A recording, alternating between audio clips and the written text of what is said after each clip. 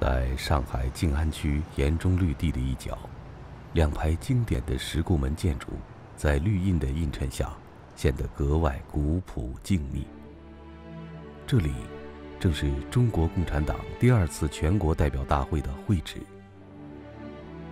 这栋名为“福德里”的石库门老房子，始建于1916年，距今已有百年历史。2017年6月。这里即将完成新一轮的修缮，重新开门迎客。负责此次修缮工程的是来自静安建筑装饰公司的老工匠吴公宝和他的团队。这已经是他第三次参与绘制的修缮工作。这一天，吴公宝带着年轻的徒弟再次来到了施工现场。经过四个多月的精心修缮。二大会址已基本恢复了原貌。走进今天的福德里，时光仿佛被定格。这里的一砖一瓦、一门一窗都保留着当年的模样。这座石库门老屋也成为了那段峥嵘岁月的见证者。一九二二年七月十六日，在福德里六百二十五号这扇石库门里。中国共产党召开了第二次全国代表大会，十二名来自各地的革命志士代表全国一百九十五名党员出席了会议。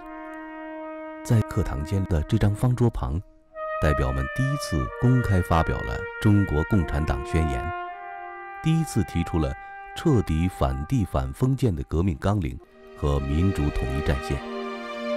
这里不仅见证了第一部党章的诞生。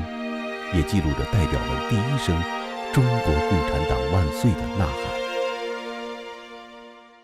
正是由为二大制定了第一部党章，以及一系列作为一个完整的政党所必须的政治文件，所以二大这次会议对我们党的历史，对于我们党的创建，乃至于对整个党的发展，都具有不可替代的重要意义。这两排施工房子，它作为党的诞生地之一，作为党的圣地的地位和作用，是不可磨灭的。中共二大会址，今天已是上海的一处红色地标。十八年前，一次意外的发现，让吴公宝与这里结下了不解之缘。上世纪九十年代。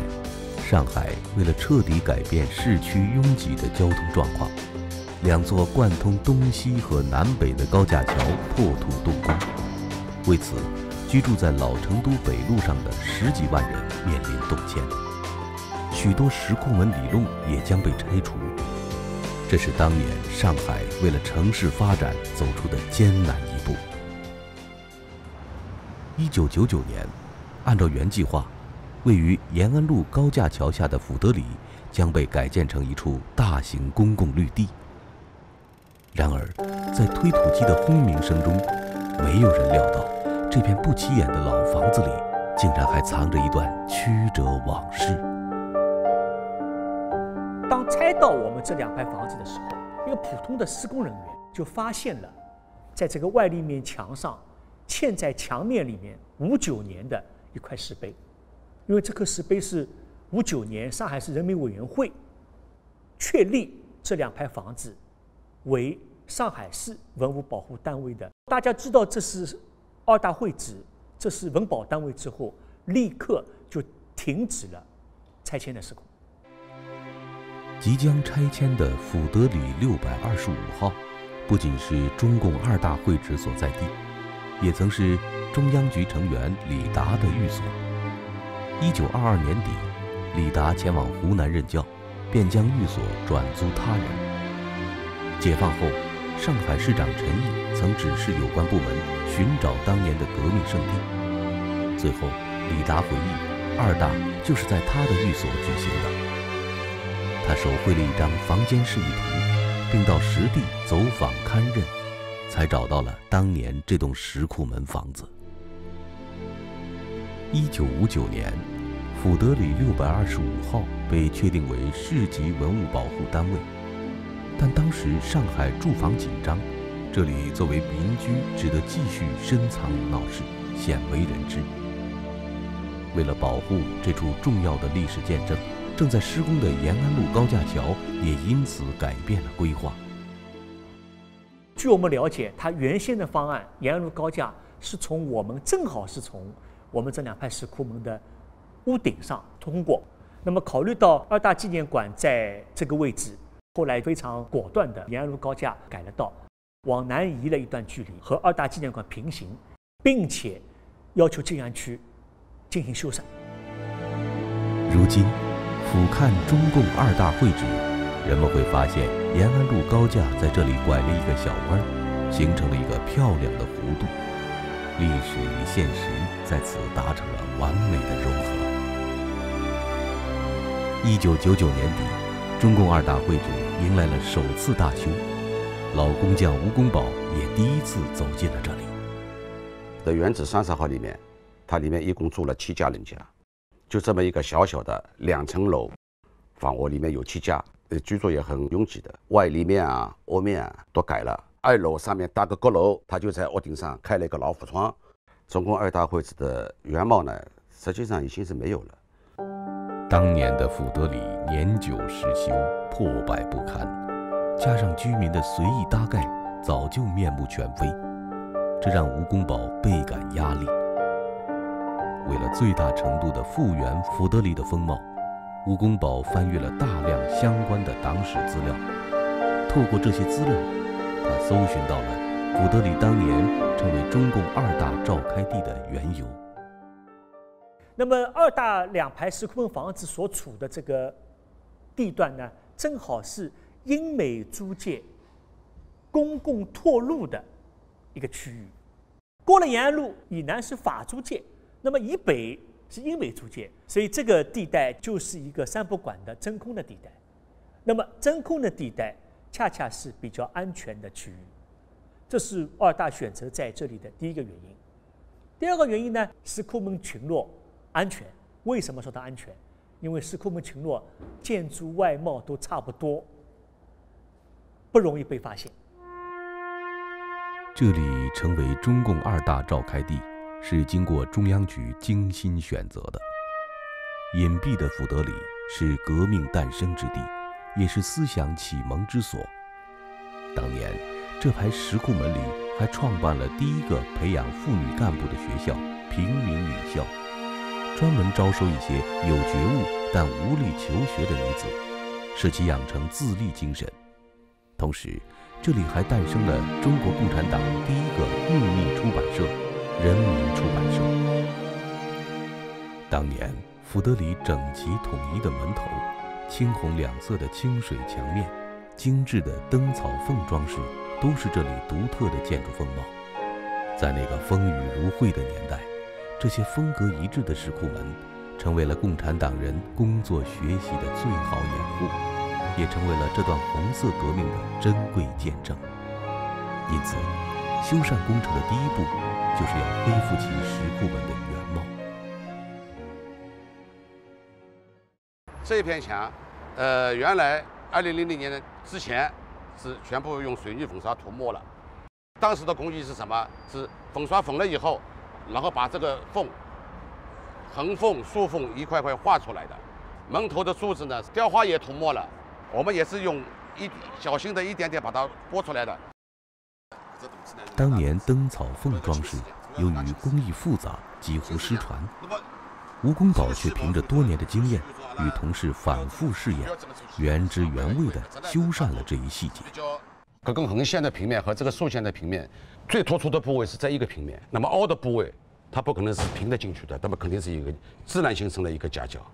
我们这个灯芯朝缝，原汁原味的按照传统工艺来做的，一般它是带最细的五毫米。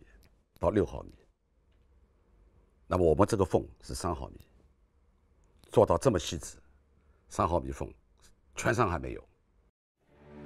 福德里门楣上的四字匾额也是此次修缮的重点。藤椒起凤，出自王勃的《滕王阁序》，寓意吉祥。十二位代表正是在此为中国革命指明了前进的方向。这这块匾额也成为这段历史的最佳诠释。因此，吴公宝对它的修缮格外用心。